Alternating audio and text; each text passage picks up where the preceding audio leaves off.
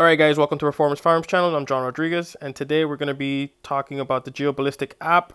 So let's go ahead and create a, a, file. Go ahead up top and hit the add button. Then we'll type in uh, Remington 700 to create a profile in 308.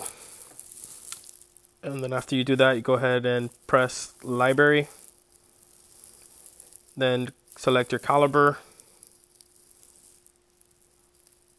you can see there's a large selection.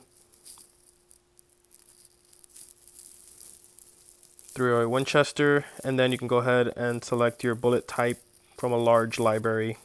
I'm going to go ahead and choose the Hornady ELDM 178 grain.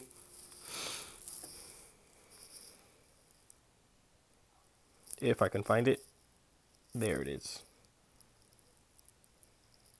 All right, if you hit the expand there, you'll see the BC coefficients in G7. All right, guys, this is very important that you put in good information to get good information out. So sight height, you want to be accurate with that. Range, you want to be accurate with that. Barrel twist is not really important. And your velocity, you want to make sure you put some, you know, good velocities in there. If you don't, you can go ahead and true it later on if you don't have a chronograph or something like that. I always like to put uh, subsonic um, numbers on there. Then you go ahead and select the profile. If you click, click over here, this is the uh, weather. You can choose from weather in your area. And you can use that or you can use the weather flow meter. This will be for the weather flow meter or the Kestrel.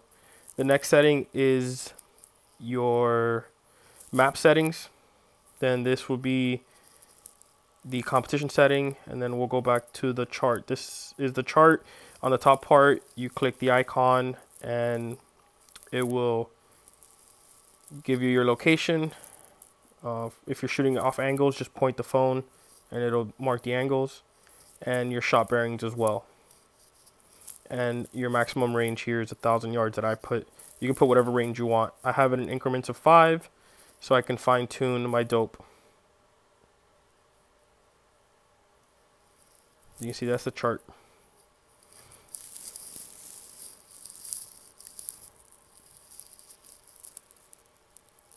All right, we'll go check out the map settings here. It comes with this uh, generic page. What you want to do is delete all and then hit the little icon on top that'll take you to where you're at. This of course is my house. And the best thing about this feature is if the GPS doesn't show where you're exactly at, you can uh, tap the silhouette and that's you at your position.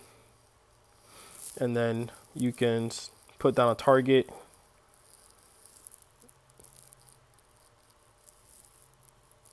And there you go. That's pretty accurate based off my um, that. Then you can delete all pins. You can put multiple targets.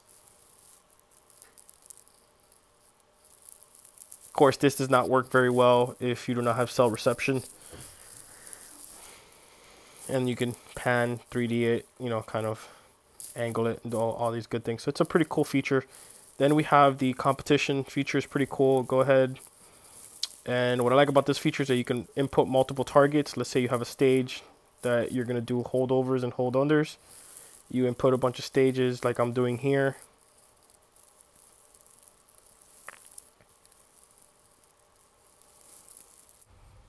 Alright, so once you put the stages, you can see your dope is right there. And let's say you want to dial for the middle one.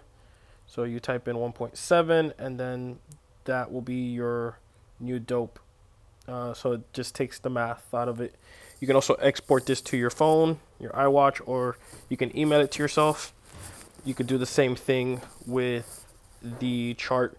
I always recommend exporting and having it on your phone just in case. Uh, you can see, uh, you can go to settings, you could change all the parameters around, different ranges, different temp, uh, you know, Celsius or all that.